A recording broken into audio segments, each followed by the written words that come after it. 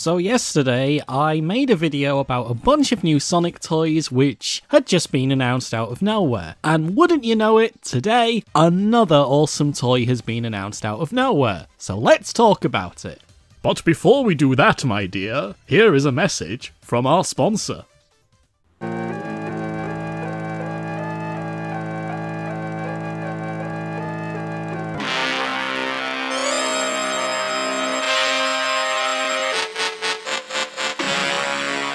Subscribe and click the bell icon, or I shall come for your souls. Thank you. So, with that out of the way, let's talk about the brand new awesome toy that's just been announced from Hasbro Gaming. So, Hasbro Gaming make the Monopoly board games. You know what that game is like. I'm pretty sure virtually everybody has one of those in their house. It's the property game where you go around the board buying property until you get all the property on the board, or have more money than everyone else, or everybody else goes broke. It's a fine example of capitalism. But anyway, they've made a bunch of spin offs of Monopoly, and Monopoly Gamer is one of those spin offs. Usually these involve you going around the board, and the winner is the one who gets the most points at the end of the game. Well, today they've just announced they're doing a Sonic version. Now, this isn't the first time that there's been a Sonic Monopoly, in fact, it's not even been the second time. The original Sonic Monopoly was released several years ago now, and it's quite a highly sought after piece of merch.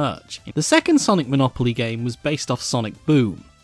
It wasn't as popular. So this third Sonic Monopoly game, the Monopoly Gamer Edition, I did actually expect them to make this when they announced the original Mario one, so I'm not surprised in the slightest. So since quite a lot of details have been revealed, let's actually take a look at what's inside this game, or how this game differs from a typical Monopoly game. So the only playable characters are Sonic, Knuckles, Tails, and Amy, which, um, it's actually quite a small number of playable pieces, you know, I thought they might actually at least bring in a couple more characters. But anyway, so there's only four characters that you can choose from. So what about the actual board itself? Because normally when a Sonic Monopoly is announced, people are really interested to see what the board's going to be like. And it's, well...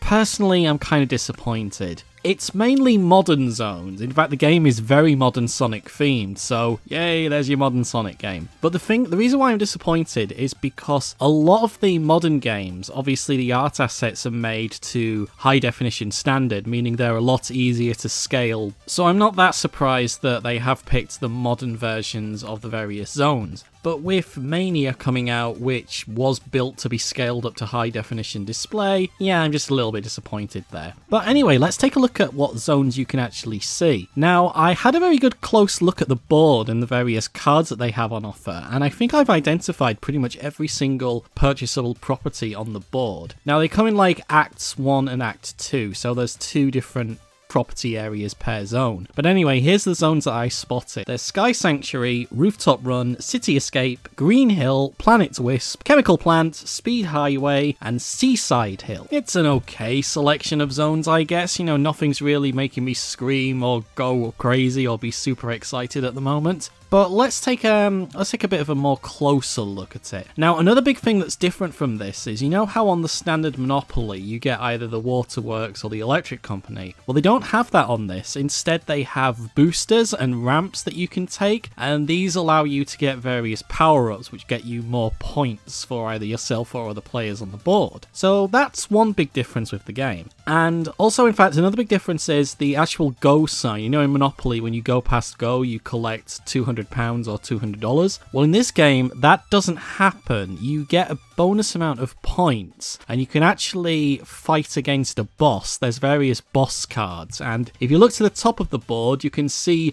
all your favorite villains. We've got Eggman, Chaos, and Metal Sonic, and the other villains that are nobody's favourite villains. And for some reason, Omega is there as well, so I don't know what's going on with there because Omega is not a villain, which is kind of weird. And Infinite is there, and I'm sure someone will care. So there's a couple more little tweaks to this being a gamer edition of Monopoly as well. Like all the different characters have different special moves which they can trigger. The you know the player can actually use them at certain points. I think it's either with special rolls of the dice or by playing a card. I'm not 100% sure. The press release isn't 100% clear with that one. But it is interesting how the different characters do have different special abilities which either benefit the player or in some cases it seems can benefit other players on the board as well. So yeah, I'm going to be quite interested to see how that pans out. So in the press photos, they do actually provide images of the actual figurines, and this is kind of a really important thing. You want to get the figurines right for these board games, because a lot of collectors will just buy the board games just for the little figures, and oh boy, what have they done? Now, I understand this is supposed to be like a cheap mass market thing, because obviously they want this to go out as many people as possible, and it's a board game which has an RRP of about $25, so the figures aren't going to have that much effort put into them. But look at the eyes.